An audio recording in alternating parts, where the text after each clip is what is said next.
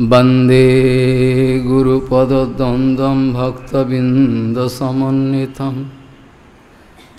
श्रीचैतन्यप्रभुं वंदे नितानन्दसहोदितं श्रीनन्दनन्दनं वंदे राधिका चरणोदयम् गोपीजनसमायुक्तं बिन्दावनं मनोहरम्। वाञ्छाकल्पतरुवस्य कृपासिन्धुव्यवच पतितानं पावनेभ्यो वैष्णवेभ्यो नमो नमः। मूकं करोति वाचालं पङ्गुं लङ्घयतिगिरिं यत्कृपातमहं वंदे परमानन्दमाधवम्। तुलसीदेव वै पिया वै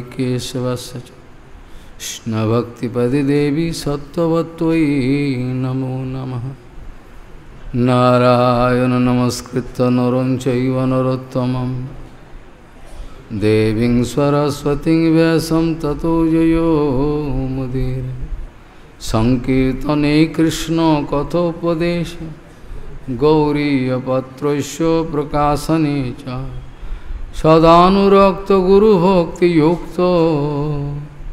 भक्तिप्रमदाखजगोद्वरुण धैर्यं सदा परिभवग्नमविष्टदोहं।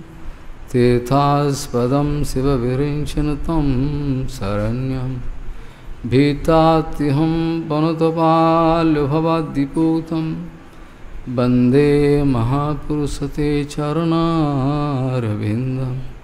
यत्पादपल्लवनखचन्दमनिच्छटाय विस्फुजित किमपि गोपवधू स्वदर्शि पूर्णानुरागरससागरसारमूर्तिः साराधिका मयि कदा कृपां करोसि श्रीकृष्णचैतन्यप्रभुनितानन्द श्री अद्वैतगदाधर शिवसदी गौरभक्तबिन्द श्रीकृष्णचैतन्यप्रभुनितानन्द श्रियाद्वैत गदाधर शिवसदी गौरभक्तबिंद हरे कृष्ण हरे कृष्ण कृष्ण कृष्ण, हरे हरे।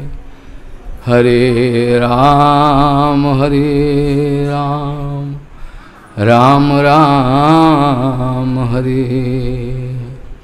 संसार सिंधु उत्तरणे हृदय यदि साध संकीर्तनामृतरसे रमते मनोष्ये प्रेमाबुधौ विहरणे यदि चित्तवीति चैतन्यचन्दचरणे कुरुतानुरागं।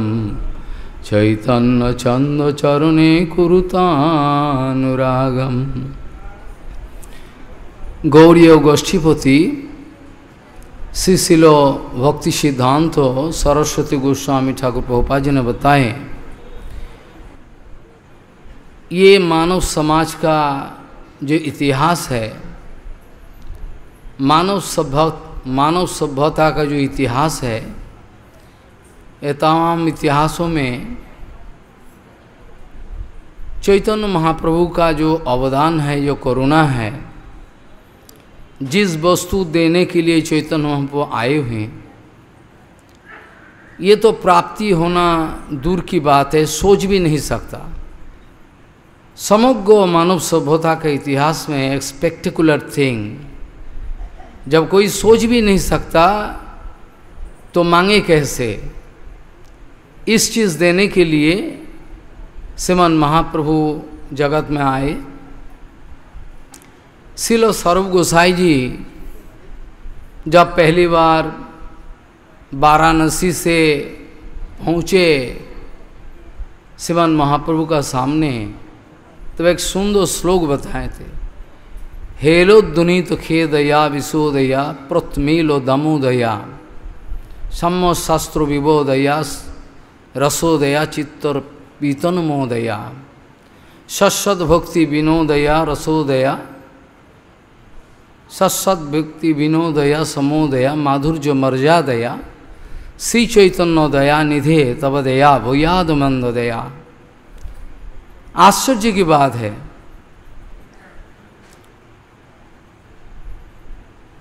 जो अनंत काल का इतिहास में अनर्पित शरिंग चिरात करुणाय वरुण कलौ समर्पित उन्नत उज्ज्वल रसम सबक्ति श्रेयाम हरि ही पुरट सुंदर दुति कदम्ब संदीवित सदा हृदय कंदरे, स्फुरुत बोस सचिनंदन। यह अप्राकृत प्रेम का जो विलास है, ये जगत में आश्चर्य है। ये इसका बारे में किसी को जानकारी नहीं है। श्रीमद भागवत जी महापुराण में भागवत जी महापुराण का जो पहला स्कंदों का जो पहला श्लोक है यन्मादस्व यथोन्मयात राश्चर सविज्ञ स्वराढ़। ये जो श्लोक है, बहुत बार आप लोगों ने इस श्लोक का व्याख्या सुने होंगे,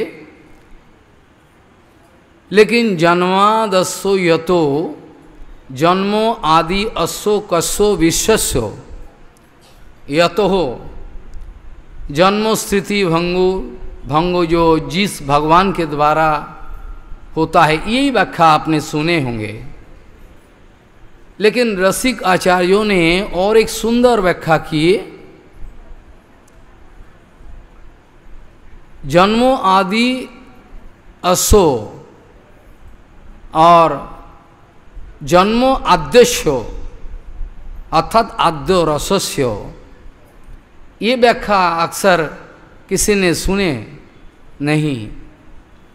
जन्म आद्यश्य यत। हो अर्थात आदि रस का विस्तार जिसके द्वारा हुआ है।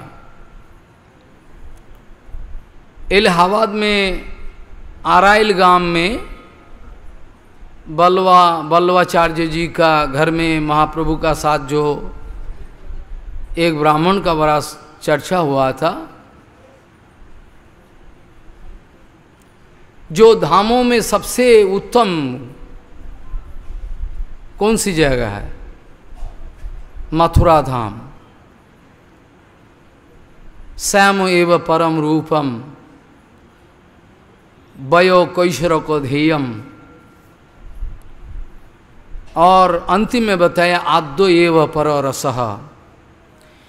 महाराज जी बताएँ, ये आद्य रस का बारे में डायरेक्ट फीलिंग किसी का नहीं है। आद्य रस मैंने आदि। जो आद्य रस से प्रेरित होकर चैतन्य महाप्रभु का रूप धारण किए, राधा गोविंदो का मिलित तो रूप, इसका आसाधन बड़ा। जब ये जगत में कोई अगर परकीय भाव जो हमारा रसशास्त्र में है, ये जड़ जगत में अगर किसी का इच्छा हुआ को कुछ करे तो सबसे बड़ा खतरनाक है। ये रस आस्वादन करने जाए, ये जगत धिक्कार देंगे। क्योंकि यहाँ बहु नायक है बहु नायिका है काउंटलेस नायिका और काउंटलेस नायक है।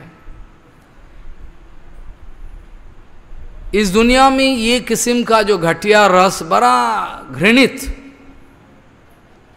लेकिन बहुत बार ये चर्चा हुआ जी, इस जगत में जो सबसे घटिया है और प्रागिक जगत जगत में सबसे बड़ा उत्तम है, क्योंकि this material world is the perverted reflection of the transcendental world अपराकित जगत का विकृत प्रतिफलन है ये जगत। एक तालाब का किनारे अगर खड़ा हो जाओ, देखोगे सबसे सामने जो आपका सबसे दूर अंग है, जो पैर है, वो सबसे निकट है। और मस्तक जो है, वो सबसे नीचे है। ये जगत का जो चीज़ है, अपराकित जगत में पूरा उल्टा। अर्थात अपराकित जगत में जो चीज़ है, इसका उल्टा, इधर, इस जगत में। इसका बारे में जब कृष्ण अवतार भय कृष्ण अवतार में भी बहुत सारे संदेह हुआ, बहुत सारे संशय पैदा हुआ कि क्या कर रहा है। ये तो ठीक नहीं है। यहाँ तक कि जो परीक्षित महाराज का बारे में भागवत में बताया गया बहुत बार, एशो महाभागवत, तीन चार बार बताया। ये परीक्षित महाराज भी सुखदेव जी परमंश गुरु आचार्य के सामने ये प्रश्न किया जब भगवान श्री कृष्ण ये क्या किया है तो ठीक नहीं है। ये तो अन्याय किया। ये तो ठीक नहीं है, क्या किया? अब तो काम यदुपति ही कृतवान, वो युगुप ये तो घटिया काम किया। उसके बाद सुखदेव गोस्वामी सुंदर उत्तर दिए, बहुत सारे प्रसंग है। समय स्वल्पता के कारण अपूर्वोक्ति वक्ता सब सुंदर बताए। सुखदेव गोस्वामी जी बताए, देखो राजन, ये साक्षात परात्पर अखिलेश्वर भगवान, स्वयं रूप भगवान। गोपियों का हृदय में जो श्याम सुंदर स्वयं रूप भगवान है स्वयं, और गोपियों का जो स्वामी बन के ये परोकिया रस का पुष्टि विधान के लिए, यही जोग माया का एक अरेंजमेंट है सुंदर। वास्तविक पक्के इसका लेके बहुत सारे झगड़ा होता है। जीव गोसाई पाद इसका सुंदर उत्तर दिए हैं। बहुत आदमी कहते हैं कि जीव गोसाई पाद रूप गोसाई पाद का सनातन गोसाई पाद का अगेंस्ट है। परकिया रस का प्रकाश नहीं किया, प्रचार नहीं किया। लेकिन सरासर गलत है ये बात। जीव गोसाई पद ऐसा नहीं किए, हम लोगों को बचाने के लिए जीव गोसाई पाद सावधान रहने के लिए प्रमाण दिए कि भगवान श्री कृष्णों का जो अंतरंगा शक्ति, उसके साथ जो विलास है जो वेदांत सूत्रों में बताया गया, शक्ति शक्ति मतोर अभेद। भगवान अपना साथ लीला लीला रचा रहे हैं। एकाकी नैव रमते। इसीलिए भगवान अकेला ही अद्वैय ज्ञान तत्व का कोई इसमें कोई शक नहीं है। लेकिन अद्वैत अद्वैय ज्ञान तत्व का अंदर में भी इतना सारे सिक्रेसी है। एकाकी नैव रमते। इसलिए जो राधा गोविंद का विलास है अपूर्व, इसका बारे में आम आदमी को पता नहीं चलता। बहुत संशय संदेह पैदा होता। भगवान श्री कृष्ण का इस लीला का बारे में जब परीक्षित महाराज ने ऐसा बताए तो सुखदेव गोसाई जो बताए, देखो गोपी नाम तत्पति नाम च सर्वेशा एव देही नाम यो अंतश्चरहा सद अध्यक्ष किरण नेह देहो भाग। वही तुम किसका बारे में कह रहे हो? जो हर जीवों का अंदर में विराजमान है, उसका लिए क्या पाप है? Who can pass judgement that Krishna has done some mistake foolish idiot number one बोका है, सब जानता नहीं। सब कोई का अंदर में कृष्ण है, गोपी, गोपियों का जो हस्बैंड है, सब कोई का अंदर में है। और जीवों को सही बात प्रमाण दिए प्रमाण दिए कि अपराग गोलोक वृंदावन में, गोलोक वृंदावन में और भौम वृंदावन में जो इसमें कोई अंतर नहीं है। यद्यपि गोपियों का साथ किसी का शादी नहीं हुआ, शादी नहीं हुआ लेकिन इस जगत में वो जो परक की अभाव नित्य है सक्य अभाव भी नित्य है, उसको स्थूल रूप में प्रकाश करने के लिए जो घुमाए सब प्रकाश किए, सुंदर स्वामी पुत्र परिवार से सुंदर प्रकाश किए। श्री चैतन्य महाप्रभु का अवतार का साथ साथ सारे ये सब हम लोगों को थोड़ा बहुत पता चला।